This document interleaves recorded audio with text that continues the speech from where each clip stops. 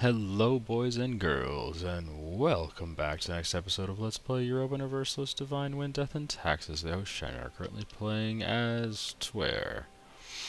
Yes, yes, I've loaded Tver because I was really curious why they haven't formed Russia yet. I mean, you look at all this land they have, and it's like, wow, that's a lot of shit, you know, just form Russia already. Well, look at the requirements for Russia. Variable claim on Russia greater than 40. Well, so I went to the region map mode and I counted up all the Russian lands that they have, and they have about 30. So they're missing about 10 right now, and they could either get them from us, which they're not going to do, or they could get them from the Golden Horde, which shit, man. 1, 2, 3, 4, 5, 6, 7, 8, 9. And then these these also count as Russia, so I could get some of these as well. Everything that's red is considered part of Russia, and everything that's brown is considered... Why is this not... There we go. Western Siberia. And come on. There you go. Russia. So even though it's got the weird lines in it, it's considered Russia. What does those lines mean anyway? Mongol Empire. Oh. No. That just means the Middle East and Central Asia. Okay, so these lines mean the Middle East and Central Asia. For whatever reason. There's no reason. But this is all considered part of Russia. All this red shit that we own is considered part of Russia. Well, we, I mean, as Romania.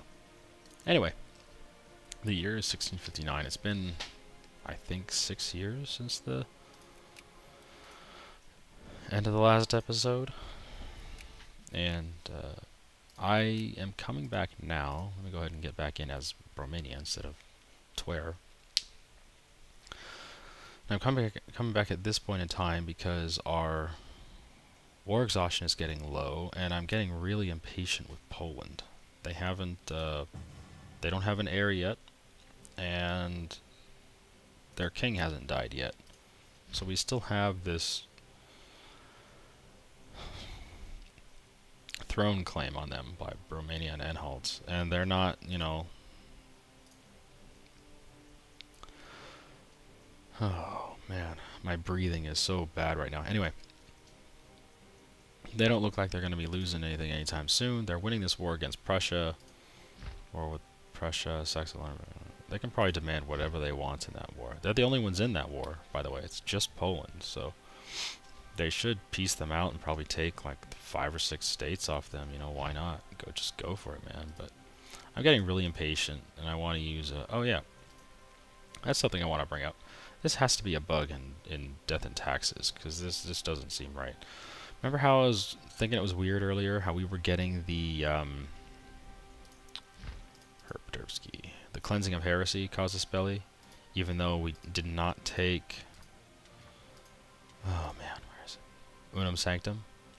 Unam Sanctam is what gives you the cleansing of heresy casus belli.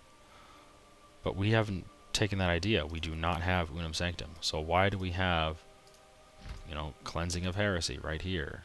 We shouldn't be able to get that casus belli. Well now, now that we're past 1650, that unlocks imperialism. Well look at this shit. Now we have imperialism casus belli. But to do imperialism, you have to be one of, like, three different government types, like Republican dictatorship, and we are not one of those three different government types, so it doesn't make any sense to me. It has to be a bug in Death and Taxes. And I'm still using Death and Taxes 4.9. I have not moved up to 5.0 or 5.6, wherever the fuck they're on right now. Because uh, there's still a lot of things that I don't like about the 5.0 update, so I'm just going to stick with 4.9 for the rest of this series. One thing I do want to note is we are now a constitutional monarchy that changed in I don't know, 1656, 1657, just a couple years ago, that we got the ability to switch over to uh, Constitutional Monarchy. So our stability dropped, but it's not the end of the world. It's going to go back up next year. And uh, we did not get a slider change uh, per se, but we had an event that said Admirals Concerned. So we either had lose stability, no, no. We either had gain one naval, which I took, because we're going to go towards, I've made a decision now, we're going to go towards naval from now on. And the other option was uh, Like the admiral must be wrong, and then that gives you like faster land tech training, like five percent less time. So it's not not really a big deal, but we decided to use the free slider change to go towards naval. Uh, also, we converted Fayoum, so we can release Egypt now whenever we want.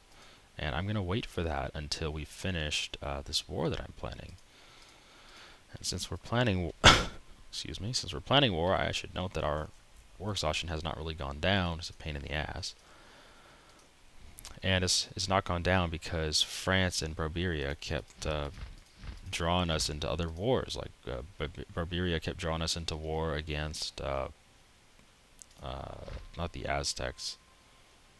No, yeah, it was the Aztecs against the Aztecs, and then also against the guy who used to be up here, uh, Tlaxcala. They brought us into war against Tlaxcala. We're just joining these things, you know, for whatever reason. And then France declared war on Genoa. I'm like, what the shit, France? So we joined that one because I thought maybe we could take this Genoese island over here, Ru Ruinion or whatever. Oh, Reunion, of course, Reunion.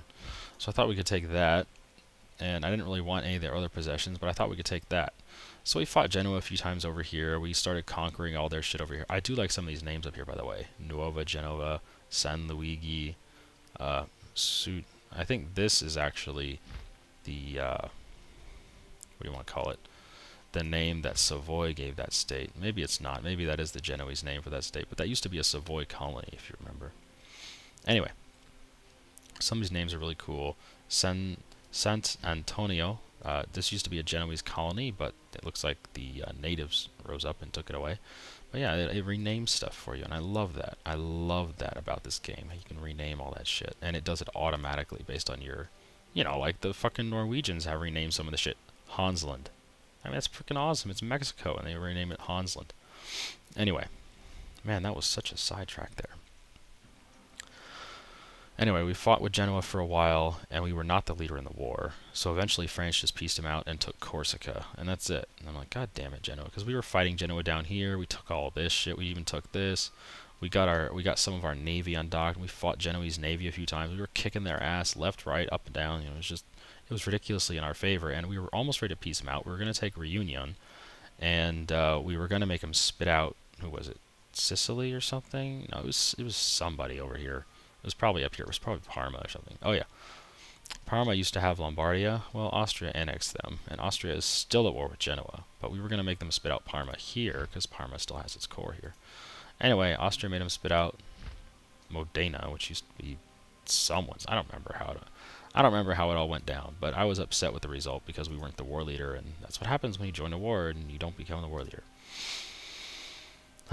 okay, take a breath. Take a breath, Shen. Just relax, just relax. So I want to go to war with Poland, and I'm going to use the uh, claim on throne because I want uh, to form a personal union. And it's going to be like, you know, no infamy or anything. No, well...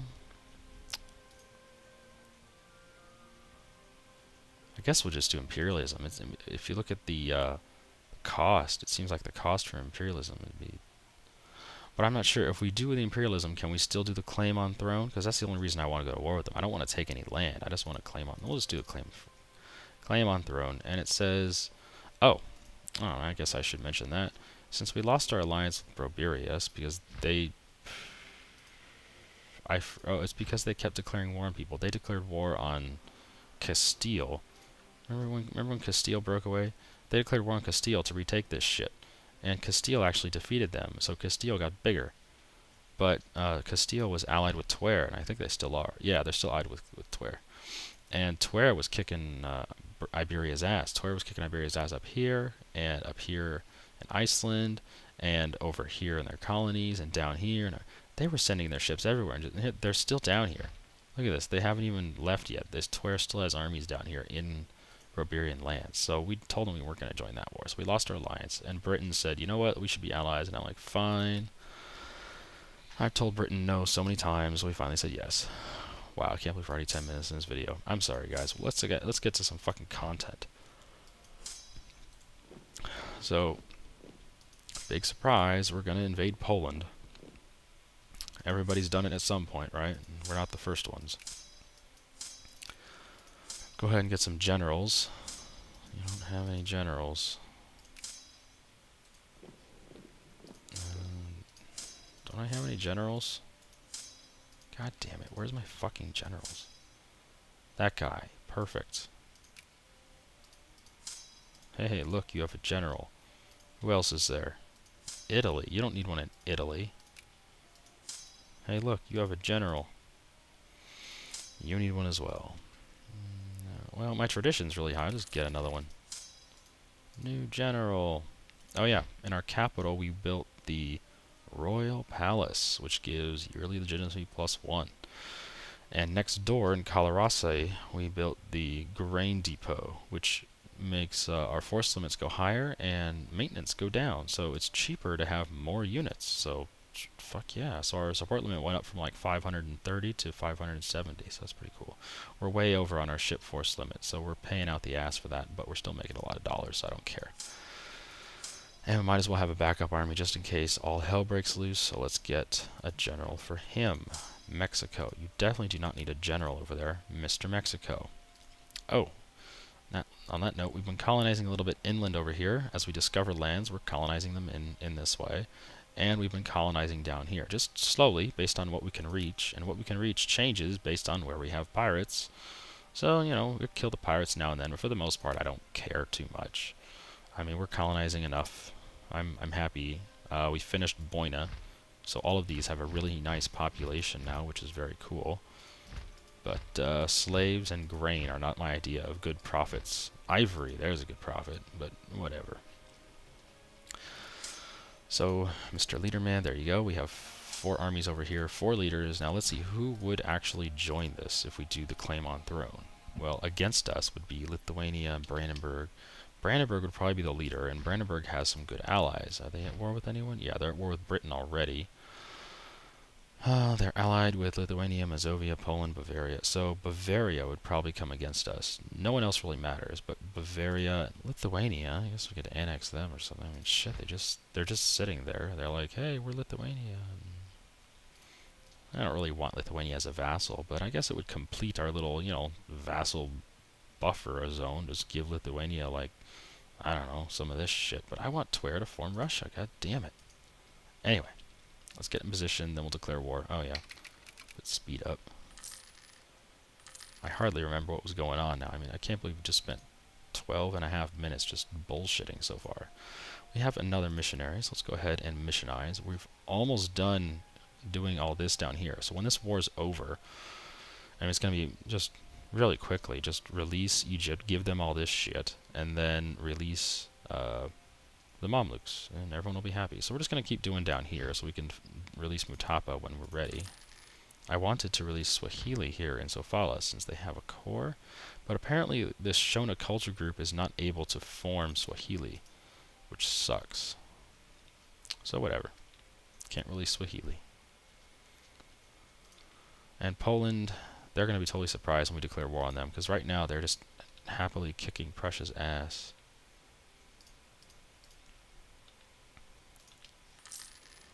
Alright, we're pretty much on the border. I think we're ready to go. Almost.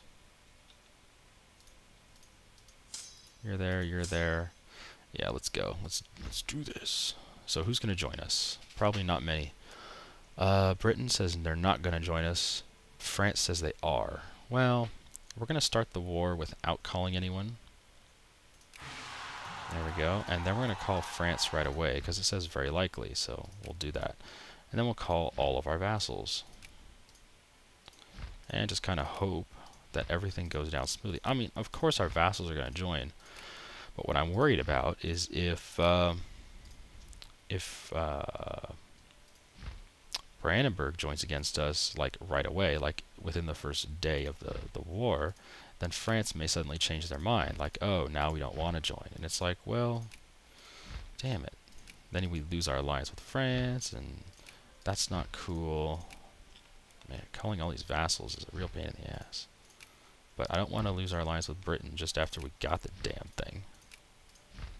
Oh, yes, yes. Is that everyone?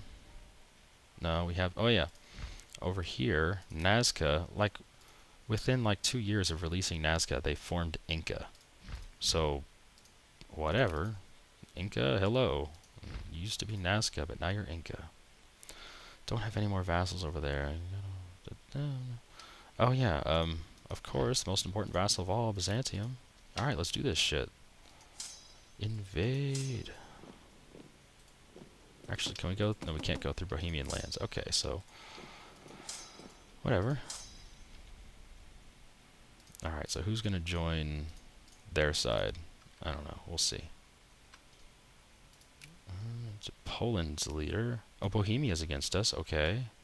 Brandenburg. Okay, so Poland is the leader. So all we have to do is just conquer Poland.